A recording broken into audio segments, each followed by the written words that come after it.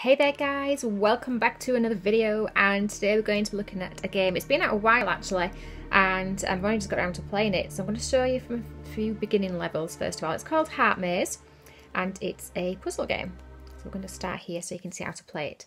And basically, it, this sounds really good if you, if you play it with headphones. So as you can see, you've got a little character there and all you need to do to move him left and right, you use these two arrows here and to make him jump, you just use the button on the right hand side and you're in a little puzzle and this puzzle is a cube. Like so. And all you've got to do is get yourself around this cube and get to this door here. Now you need the key to unlock it to get out. So what you've got to do is go across and find it. So that's what we're going to do now. This is right at the beginning of the game. And as you can see once you walk around this cube it will spin round and you've just got to figure out where the key is. And make sure you don't fall to your death in the meantime.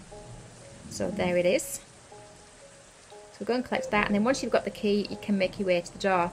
So you go back, figure out where it is, make sure you don't fall on those spikes because you will die and have to start all over again and then get to the end of the level. And that's all you do for each one, you just get the key, get to the door and out you go like this. It's very eerie, I absolutely love the um, voices and sounds for this and as I say it sounds really good if you listen to it with your headphones on as well. So there we can see the key is up there, we can't get there obviously, we're going to go this way first of all. Make sure I don't die. Maybe you will. Just be careful when you go around each side, just to make sure that you don't actually fall to your death as you're going round. Right, where is it? Oh, there it is up there. I can see it. So you can plan ahead and then grab it. So there it is. And um, I'll go back this way, I think, now. I can't remember which way. Can I go that way? I don't think I can, can I? Nope, so I have to go back this way. Okay, we'll go back this way if you insist work the way around. Oh no! I can't believe I died. I'd got the key as well then, never mind. Let's go back quickly and get this. It's because I'm talking and playing at the same time as usual. But yeah, it's been out a while this game and I've just not got round to playing it. Um, they, play, they did another game as well. Um, I can't remember what it's called. I think it's called Lit the Torch or something like that. It's the same developers who did that game, which is another really cool game. Right, so let's try not die this time. Let's take it slowly.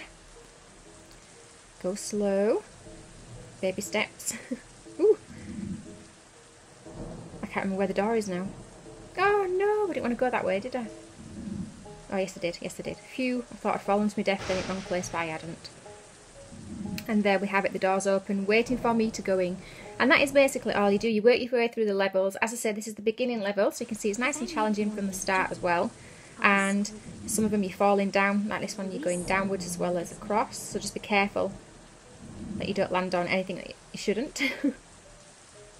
Hopefully I'm not going to fall to the spikes here. And then again you're just finding the key. Ooh, look at that. Oh no she didn't move quick enough. You're finding the key and then just getting to the end of the level and that is all you do.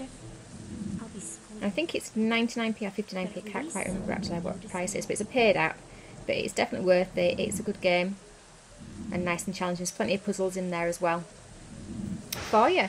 So check it out and if you do, let me know what you think in the comments below. Thanks for watching guys. Bye for now.